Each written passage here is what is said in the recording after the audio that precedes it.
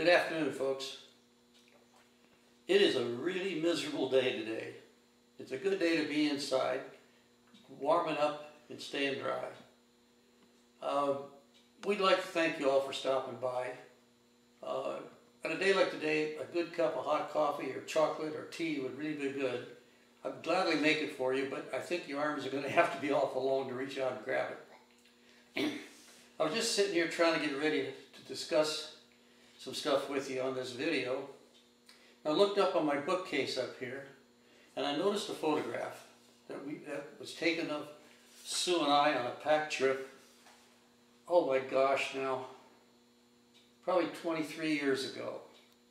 Up into the Olympic National Park we were, for the Park Service there. We were with some old guys that were originally doing what we ended up doing for years. And in fact, this was their last trip and I took over from them. But um, it's in the uh, in the Home Sweet Home meadow of over the top of the first divide, which is oh, it's a about uh, three and a half miles from 1,200 feet to 4,700 feet. It's a heck of a climb.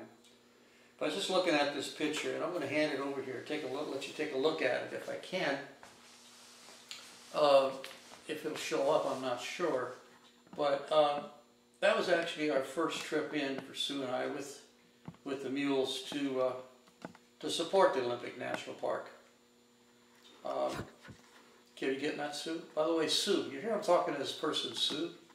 My, my sweet little gorgeous wife, Sue, is behind the camera in charge of everything here, so I gotta behave myself and watch my language. Okay, so I'm gonna set this back down again. It was a beautiful trip. Um, it's one, it was just beautiful in there. It's a beautiful piece of ground. Now, we worked for the Olympic National Park uh, for over 23 years off, and, and, and we worked for them in the form of volunteer packers. But we didn't just, we weren't weekend warriors. We went sometimes 25, 30 trips a year, uh, sometimes two, three times a week, two days, three day runs, uh, was not uncommon.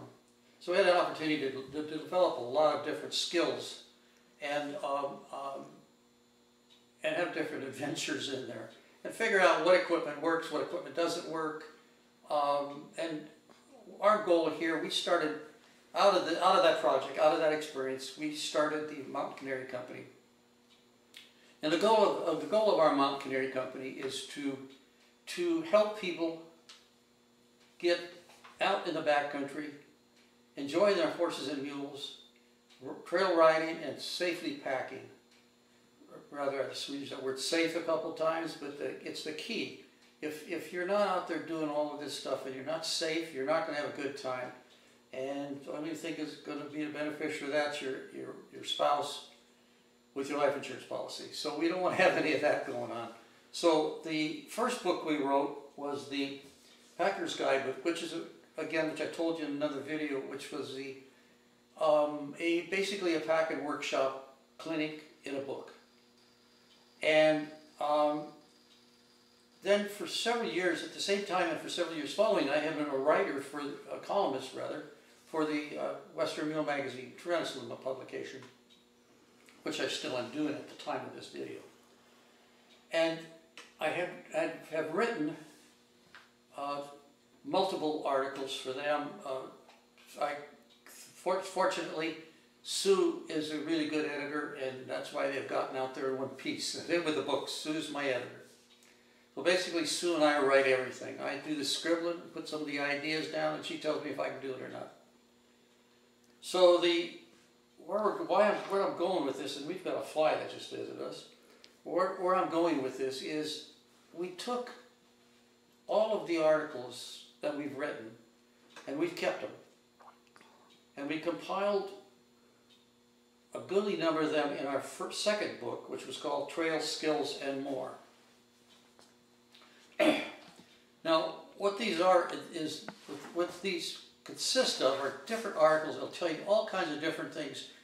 It's a, it's a basically a potpourri of, of articles, all about riding and packing in the backcountry and uh, camping with your animals. And uh, it's, it's uh, very, very useful. We've probably, in the works, we'll have a third book, which will be also a Trail Skills and More, which we've, which I'm pretty proud of, the material we've been able to put out and put together for people. But unless I put it in some form, I can't share it on and on and on. You'll have to follow me around, and that's gonna cost you buying me a lot of beer. So, this is really a pretty interesting book, um, I, I think. Let me go over just some of the subjects. I'll flip through it here over just a handful of subjects. One of I got here is on high lines. Uh, another one, the next one up will comes, it, neither wa- water, water everywhere, nor not a drop to drink. And it's talking about sanitation, getting water, finding water, how to drink, how to get good water back in the country.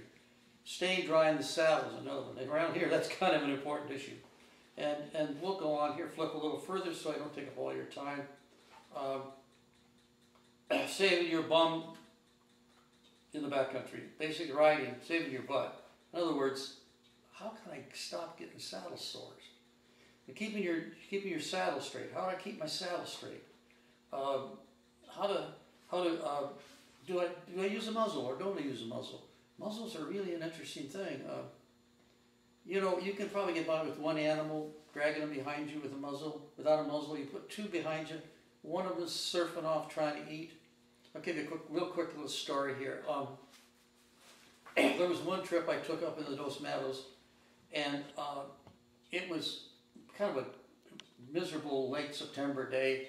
I came out with four head, and I camped in there overnight. It was it was a long trip, uh, and the gang was tired, and I, I we camped in there overnight. And I was coming out, and I thought, you know, I see all this grass that's still along the sides of the trail. I think I'm gonna give it a break. I'm gonna take leave the muzzles off. So I tied the muzzles, took them off, tied them to the back back of their pack saddles, and took off. Next thing you know, my arm's being pulled out of the socket. I'm looking, and, and it's, it's just a ruckus going on back there. And I look back there, and it looks like a bunch of water skiers going all different directions. Completely unsafe. Somebody's going to step over a high over a high line, excuse me, over a lead rope. We're going to have a we're going to have a rodeo back there, and I'm a, and I'm a long way from anywhere. So what do I do? I stopped. Told them they had their chance. They blew their chance. They put their muzzles on and came out. I rarely ever go without muzzles anymore. So muzzles are kind of an important thing we've used for years. Um, people don't think, may not even thought of using them, but I do really believe for us they've saved my bacon many a times. Now, these are some of the articles. Um, white hair is not fatal, or is it? In other words, after the end of a packing season, uh, you start to show up a little bit of white hair, some fuzz, not a big patch, nothing sore, but a little little white hair along their back, which is just an indicator of heat. It's been hot under those pack saddles and under those pack pads. So if you watch it carefully, normally it, it'll show up in the fall when new hair comes in underneath. Next thing you know, spring comes and it's gone. So, and I, I have yet to soar up an animal to a point, and I've got a lot of pack hours under under on, under my saddle. But I've yet to soar up an animal um, in the pack stream, yet. So um, so anyway, there's there's quite a bit of stuff in this book. Um, care and feeding the packer. What's what to bring with you in in uh, as far as tools and necessities on a pack trip overnight that I take.